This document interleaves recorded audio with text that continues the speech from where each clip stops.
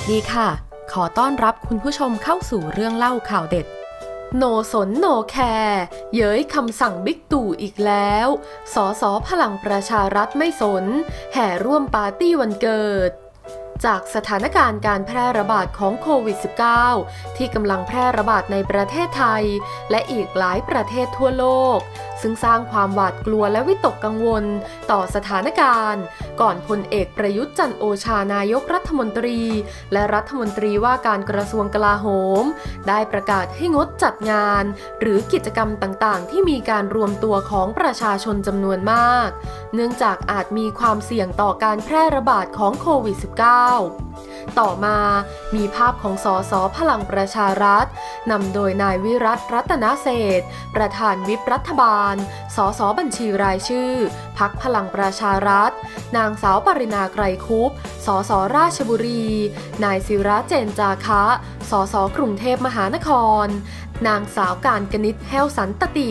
สสกรุงเทพมหานคร นายศาสตราศรีปาน สสสงขลา เป็นต้น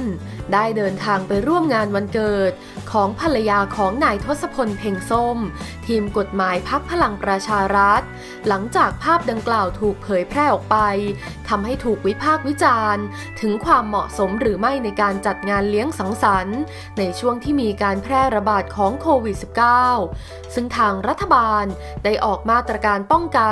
รวมถึงขอให้งดจัดกิจกรรมที่มีการรวมตัวของคนจำนวนมากล่าสุดเมื่อวันที่ 18 มีนาคม มีการเผยแพร่ ภาพสสพลังประชารัฐนำโดยนายวิรัตรัตนเศษประธานวิปรัฐบาล สสบัญชีรายชื่อพักพลังประชารัฐ นายสุชาติชมกลิ่น สสชนบุรี และประธานสสพักพลังประชารัฐนางสาวปรินาไกรคุปสสราชบุรี นายศิระเจนจาคะ สสกรุงเทพมหานคร พร้อมกลุ่มสสได้เดินทางไปร่วมงานเลี้ยง วันเกิดของนายธรรมวิทย์โพธิพิพิธหรือผู้ใหญ่แหลม สสกาญจนบุรี พักพลังประชารัฐ โดยภายในงานยังมีคลิปนางสาวปรินา จับไมค์ร้องเพลงอย่างสนุกสนาน กับชาวบ้านที่มาร่วมงานจำนวนมาก หลังจากคลิปดังกล่าวเผยแพร่ออกไปทำให้เป็นกระแสวิพากษ์วิจารณ์รัฐบาล และกลุ่มสสว่า เป็นการฝ่าฝืนคำสั่ง ที่รัฐบาลออกมาตรการป้องกัน